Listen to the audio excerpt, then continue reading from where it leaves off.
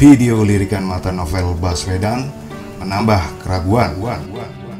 Halo Assalamualaikum, jumpa lagi dengan saya Afiteo Oke kali ini saya akan membacakan sebuah artikel yang diambil dari siward.com yang ditulis oleh Abang Mora Sifuda sudah sebulan lebih sebenarnya netizen gaduh soal apakah novel Baswedan benar-benar disiram air keras atau hanya konspirasi yang sukses. Tidak tanggung-tanggung atau tungging-tungging sampai ada netizen yang mengunggah rekomendasi dokter Singapura atas kondisi mata novel. Bukan malah menyelesaikan masalah melainkan semakin menambah kegaduhan dunia maya karena adanya cacat dalam surat rekomendasi tersebut. Oke brother, nanti kita akan kembali membahas soal kegaduhan mereka ini. Setelah kita membahas video yang baru saja viral meski sudah tersebar sejak 2017 yang lalu. Ini video yang beredar. Apa yang menarik dari video itu adalah ketika novel Baswedan melirik ke arah kamera dengan bola mata masih normal. Jika dilihat secara kasat mata, bola matanya masih bergerak secara normal dan kita tidak menyaksikan adanya kesulitan apa-apa ketika novel menoleh ke arah wartawan. Menurut berita, novel disiram air keras pada subuh 11 April 2017. Maka kalau dibandingkan dengan unggahan NetJet hanya berserang 7 hari atau seminggu. Video tersebut membuktikan satu hal bahwa novel sudah membaik dalam waktu 7 hari. Ketika kita bandingkan penampilan novel di video dengan yang sekarang, sangat berbeda jauh. Penampilan mata novel yang sekarang seolah menggunakan bola mata palsu. Silahkan bandingkan. Dari kacamata awam saya tentu saja sangat jauh berbeda. Justru mata novel jauh lebih baik ketika seminggu setelah penyiraman daripada sekarang ketika dia tampil di depan publik. Sebagai awam dalam hal luka tentu saja anggapan kita kok bisa semakin lebih parah setelah sekian kali menjalani operasi. Apakah mungkin itu hanya karena keterbatasan pengetahuan saya saja? Video lama yang baru ini viral kembali ini menambah pertanyaan banyak orang apakah kasus novel benar-benar kecelakaan, disengaja atau rekayasa. Tentu saja ada pertimbangan-pertimbangan logis yang memaksa publik bertanya-tanya dan itu pula yang diributkan oleh netizen selama sebulan itu.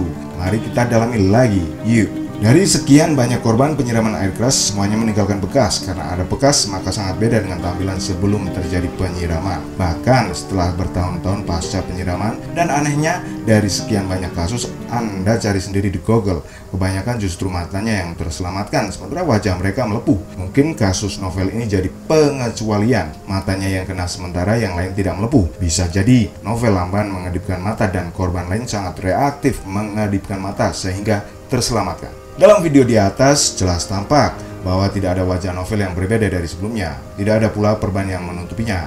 Jangan melepuh, memerah saja tidak ada. Muncul pertanyaan nih, kulit novel yang keras atau air kerasnya yang kurang keras sehingga tidak sampai rusak kulit luar. Kalau kadar air kerasnya kurang keras, maka sangat berhubungan dengan motif penyiraman air keras terhadap novel untuk mencelakai, mengintimidasi atau untuk membunuh.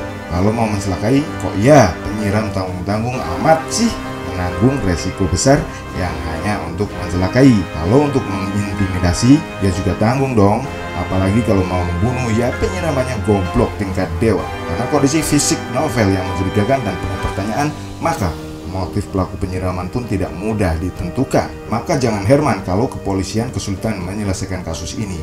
Banyak kemungkinan-kemungkinan yang akan menghasilkan kemungkinan pada saat yang sama, novel sendiri tidak kooperatif dalam penyelesaian kasus ini. Saya sendiri pada awal kasus penyiraman itu sangat berempati. Saya terhipnotis oleh kasus penyiraman air keras terhadap penyidik senior KPK. Tidak ada pilihan lain kala itu selain mempercayai dan tidak meragukan apa pun sehingga tidak pula ada niat mengamati perubahan fisik novel. Tetapi ketika sikap novel sekarang seolah seperti pejuang paling getol memerangi korupsi ditambah lagi fakta-fakta baru tentang fisik novel, kecurigaan itu semakin bertambah bukan kecurigaan terhadap kasus penyiraman itu karena memang benar terjadi dan terekam CCTV, melainkan terhadap daya rusak air kerasnya dan motif pelaku penyiraman itu. Saya tidak mengajak Anda untuk curiga seperti saya. Saya curiga kasus ini benar-benar kasus mencelakai. Saya curiga kasus ini mungkin rekayasa. Saya curiga kasus ini benar-benar dendam semata dan saya curiga kasus ini tidak ada kaitannya dengan korupsi.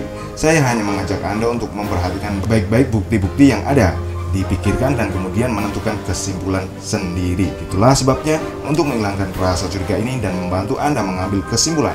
Saya mendesak kepolisian untuk menyelesaikan kasus ini setuntas-tuntasnya agar tidak ada rasa curiga di antara kita. Salam dari rakyat. Zalato.